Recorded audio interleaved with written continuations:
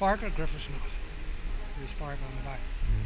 That imitates them there as they come out of the shuck, as they're hatching they come out. But if it hasn't got that on it, it means that a whole lot of them all clumped together, a mating, a mating type of thing. Yeah. And that's the way they are in the water, and a bundle after the female. And it's called a Griffith.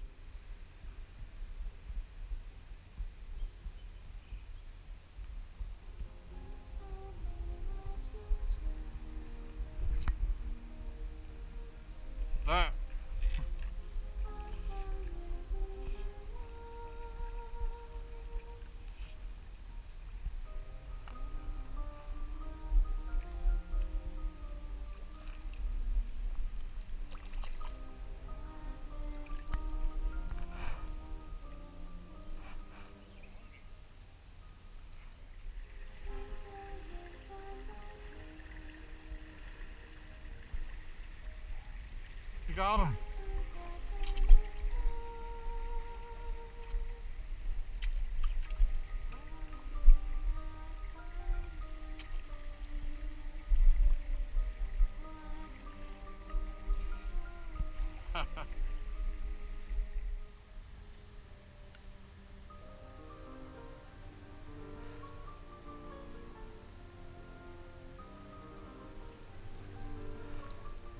Good fish.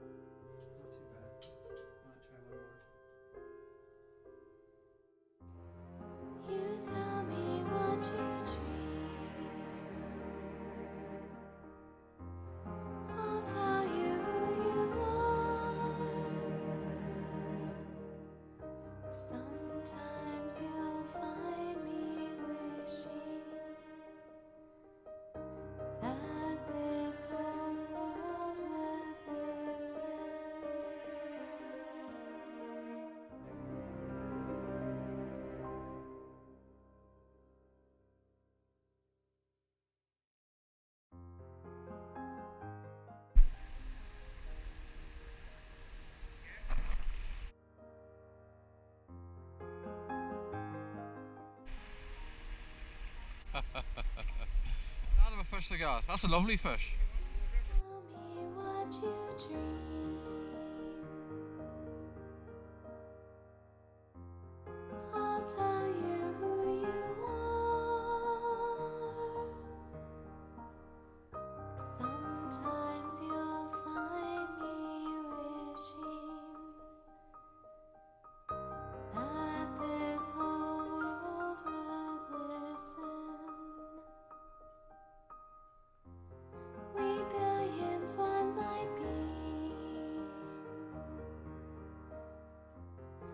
dreams about